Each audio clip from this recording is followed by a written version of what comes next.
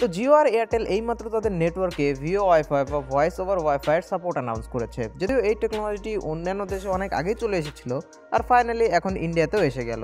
তো এই ভিও, ওয়াইফাইটা আসলে কি? আর এটা ভিও, এলটিই থেকে কীভাবে আলাদা? আর আপনি এটাকে কীভাবে এনেবেল করবেন? এই সব কিছু থাকবে এই ভিডিওটিতে। তো ভিডিওটি শেষ পর্যন্ত অবশ্যই দেখুন। তো ভিও, ওয়াইফাই বা ভয়েস ওভার ওয়াইফাই কিংবা ওয়াইফাই কলিং এমন একটা সার্ভিস যেটা সাহায্যে ইউজাররা ওয়াইফাইয়ের মাধ্যমে ফোন কল কিংবা এস করতে পারবে। সহজে বললে ভিও ওয়াইফাইয়ের সাহায্যে আপনি সাধারণ ফোন কল করতে পারবেন যদি আপনার ফোনটি ওয়াইফাইয়ের সাথে কানেক্টেড থাকে। আর যদি আপনি নেটওয়ার্ক কভারেজের বাইরে থাকেন কিংবা আপনার নেটওয়ার্ক যদি খুব দুর্বল হয়। অর্থাৎ এখানে মোবাইল নেটওয়ার্কের জায়গাতে ওয়াইফাইকে ব্যবহার করা হবে।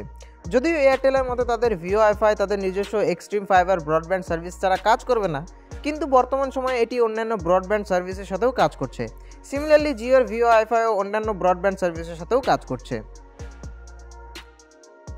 তো দেখুন ভিও এলটি বা ভয়েস ওভার এলটিই ছিল একটা step up regular two G based কলের থেকে, যেখানে কাজে নেওয়া হতো ফোর জি নেটওয়ার্ক কিংবা এলটিই নেটওয়ার্কের টু জি নেটওয়ার্কের বদলে।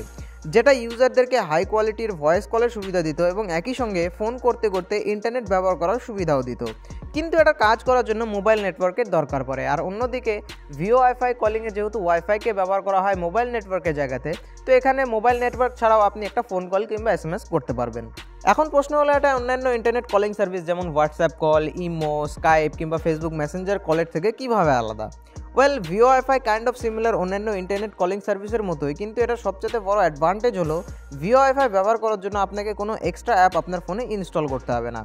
আপনার ফোনে যদি ভিও ওয়াইফাই এনেবল করা থাকে আর ফোনটি কোনো ওয়াইফাইয়ের সাথে কানেক্টেড থাকে, আর আপনি যদি নেটওয়ার্ক কভারেজের বাইরে থাকেন কিংবা আপনার নেটওয়ার্ক খুব দুর্বল হয়, তাহলে আপনার ফোন অটোমেটিকলি ফোনটিকে সেই ওয়াইফাই নেটওয়ার্কে সাহায্য করবে। আর আপনি যার কাছে ফোন করছেন, তাকেও কোনো এক্সট্রা অ্যাপ তার ফোনে ইনস্টল করতে হবে না আপনার ফোনটি রিসিভ করার জন্য। এখন একটা কথা, বর্তমানে প্রত্যেকটি ফোন ভিও ওয়াইফাইকে সাপোর্ট করে না। অর্থাৎ আপনার ফোনের হার্ডওয়্যার তো কেপেবল কিন্তু আপনার স্মার্টফোন নির্মাতাকে সেটি এনেবল করতে হবে একটি সফটওয়্যার আপডেটের মাধ্যমে। আর শুধু আপনার ফোন সাপোর্ট করলেই হবে না, এখানে আপনার কেরিয়ারের সাপোর্টেরও দরকার আছে। অর্থাৎ আপনার ফোনের মডেলকে আপনার সিম কোম্পানিকে সাপোর্ট দিতে হবে।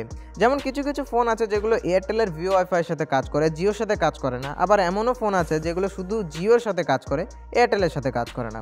অর্থাৎ এখনও কোম্পানিগুলো এটা নির্ধারণ করছে যে কোন কোন ফোনে সাপোর্ট দেবে। কিন্তু হ্যাঁ ভবিষ্যতে এই লিস্টকে অনেক অনেক বাড়ানো হবে। আর এটা সবচেয়ে ভালো এক্সাম্পল হচ্ছে যে গ্যালাক্সি ফোল্ড রয়েছে, সেটা জিওর ওয়াইফাই কলিংকে সাপোর্ট করে এয়ারটেলকে করে না। আবার ওয়ান প্লাসের যে ফোনগুলো রয়েছে, সেগুলো শুধুমাত্র এয়ারটেলের ওয়াইফাই কলিংকে সাপোর্ট করে জিওকে করে না।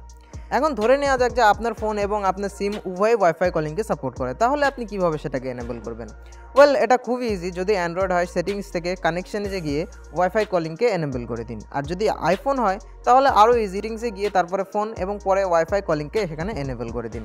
এবং তারপরে আপনার ফোনটিকে রিবুট করুন এবং আপনার এরিয়াতে যদি ওয়াইফাই কলিং সাপোর্টেড হয়, আপনি ফোনের নোটিফিকেশন প্যানেলে ভিও ওয়াইফাইয়ের একটি লোগো দেখতে পারবেন এবং ওয়াইফাই কলিং আপনার ফোনে কাজ করতে শুরু করবে। ওয়েল জিও আর এয়ারটেল এখন কোনো এক্সট্রা টাকা নেবে না ওয়াইফাই কলিংয়ের জন্য। কিন্তু হ্যাঁ যে ওয়াইফাই আপনি ব্যবহার করছেন, সেটা থেকে কিছু পরিমাণে ডেটা অবশ্যই খরচা হবে। সো গাইজ আমি আশা করছি আপনারা বুঝতে পেরেছেন যে ভিও ওয়াইফাই কী। তো যদি আপনার ভিডিওটি ভালো লেগে থাকে লাইক করুন শেয়ার করুন। আর হ্যাঁ চ্যানেলটিকে সাবস্ক্রাইব করে নিন এই ধরনের কন্টেন্ট ফিউচারে দেখার জন্য। এই ভিডিও এটুকু বেশ ভালো থাকুন, সুস্থ থাকুন, দেখতে থাকুন Bangla techs thanks for watching